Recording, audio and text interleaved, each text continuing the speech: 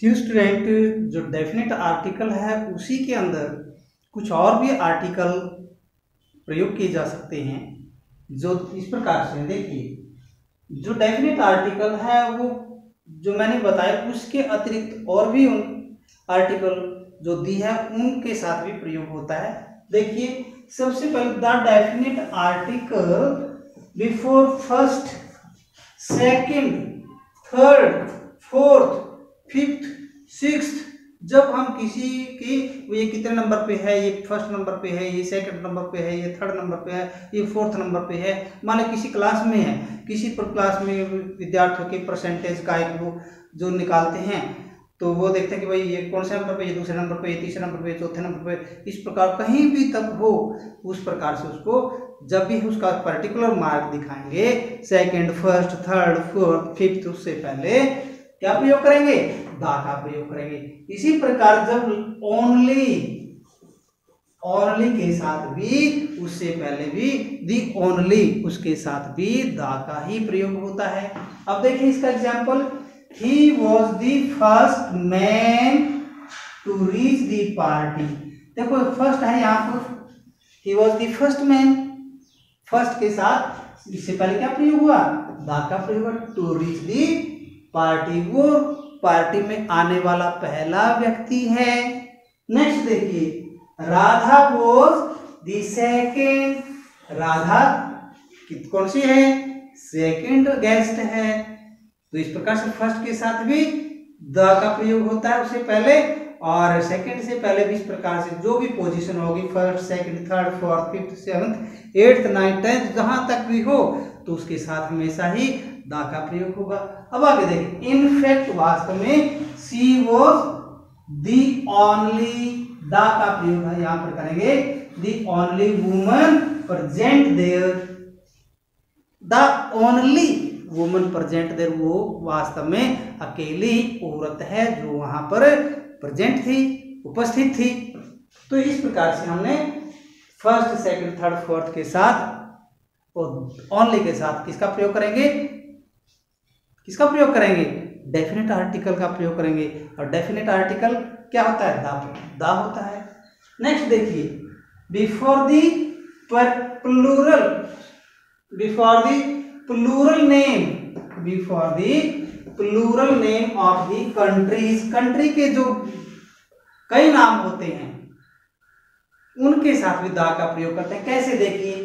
The United State America USA short लिख देते हैं ना तो जब हम इसका पूरा नाम लिखेंगे, the United State of America, इसी प्रकार इंग्लैंड को हम क्या बोलते हैं? यूके यूनाइटेड किंगडम उसके आगे भी द यूके इसी प्रकार West Indies the West Indies इस प्रकार से जो कंट्रीज़ के प्लूरल नेम हैं, उनके साथ भी हम दा का ही प्रयोग करते हैं।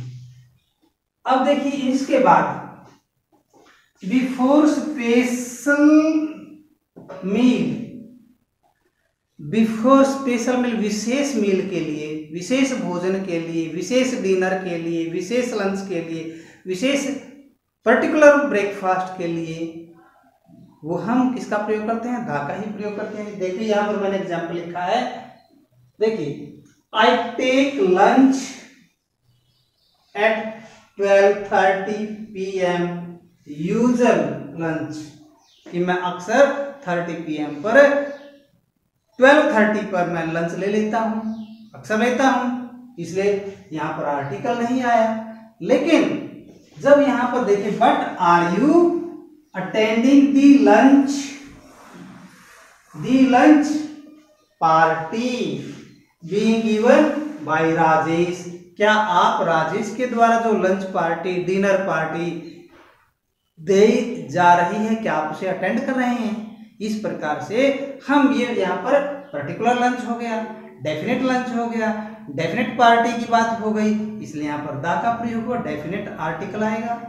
नेक्स्ट देखिए, जो इनसे आगे है, जब भी हम कोई भी माउंटेन की बात करें माउंटेन मीन पर्वत दी हिमालयाज हिमालय एक है दी एल्पस इस प्रकार से जब हम उनकी बात करेंगे तो उनके साथ भी डेफिनेट आर्टिकल आएगा।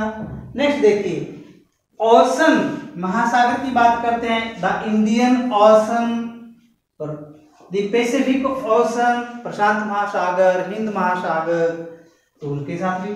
और जब हम आइलैंड की बात करें, किसी टापू की दी अंडेमान निकोबार द द्वीप इस प्रकार से हम पर्टिकुलर डेफिनेट डेफिनेट आर्टिकल का प्रयोग करते हैं। नेक्स्ट देखिए रिवर जितने भी रिवर्स हैं the Ganges the Yamunas the Saraswati holy river हैं, इसलिए हम उनके साथ दा का प्रयोग करते हैं। अब इसके साथ होली बुक्स जितने भी होली बुक्स हैं दी कुरान दी बाइबल दी गुरु ग्रंथ इस प्रकार से हम सभी होली बुक्स के साथ हम किसका प्रयोग करते हैं? डेफिनेट आर्टिकल और डेफिनेट आर्टिकल क्या है? दी डेफिनेट आर्टिकल है। इसके साथ साथ देखिए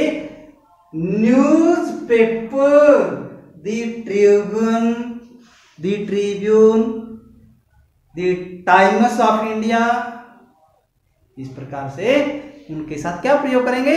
हम दा का प्रयोग करेंगे। नेक्स्ट देखिए मैगजीन कोई भी पत्रिका है मैगजीन दी डाइजेस्ट मैगजीन है। The digest magazine D I G E S T digest magazine. तो इस प्रकार से मैगजीन के साथ भी हम दा का प्रयोग करते हैं। नेक्स्ट देखिए हिस्टोरिकल बिल्डिंग्स कितनी जो जो हिस्टोरिकल बिल्डिंग्स है, दी ताजमहल दी कुतुब मीनार, दी जामा मस्जिद, इस प्रकार से उन सबके साथ हम इसका प्रयोग करेंगे। पर्टिकुलर आर्टिकल का प्रयोग करेंगे डेफिनेट आर्टिकल का प्रयोग करेंगे। नेक्स्ट देखिए ट्रेन, जितने भी ट्रेन हैं, उनके साथ डेफिनेट आर्टिकल का प्रयोग होता है। दी शताब्दी एक्सप्रेस शताब्दी एक्सप्रेस इस प्रकार से। सी समुद्री जहाज़ के साथ भी हम पर्टिकुलर डेफिनेट आर्टिकल का प्रयोग करते हैं। जैसे दाविक्रांत शिप का नाम है।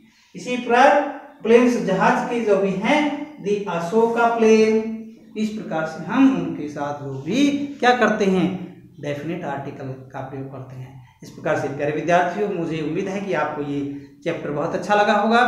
आप इसे करेंगे एक्सरसाइज करेंगे, अपने टीचर्स को दिखाएँगे और यदि कोई प्रॉब्लम आती है तो मेरा व्हाट्सएप नंबर और मोबाइल नंबर आपके पास ही है, जो इस वीडियो के शुरू में ही लिख दिया जाता है।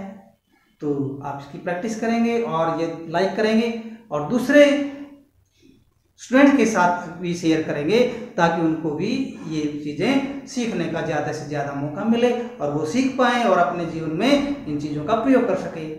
Thank you have a nice day